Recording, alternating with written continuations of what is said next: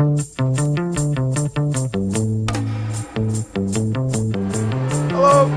Hi, Zack.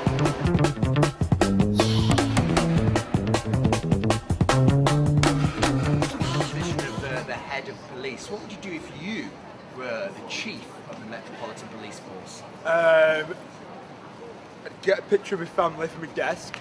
Uh, comfy chair. First of all, you get yourself set up because if you're going to try and police the streets, you need to be a comf- in a comfortable surrounding. So obviously, that's my priority if I was a policeman. But what about actually running the police force, though? You know, if I was- flashing lights. That's where you. If you want to get somewhere, that's what you need. If we all had a flashing light, probably be no crime.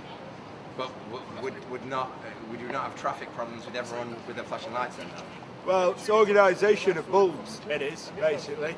If everything's synchronised, bulb here, bulb there, you know, it's through traffic. You're getting through it. The police are doing a stern job. Stern. Would you like to talk to us about maybe an incident you had with the police before, or Well, to be fair, I've prevented a couple of crimes myself. I was in Woolworths with my nan, and uh, I could clearly see there was a, little kid overloading his pick and mix. I mean, I mean, uh, that had nothing to do with me. So I said to her, "Be honest with you, little lad. You know, you're trying to smuggle gobstoppers, and I won't allow it. You know, I'm with my nan and my nan.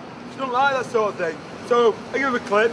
He put it back, and I walked off. Felt like an hero. Didn't get a medal, but I felt like an hero.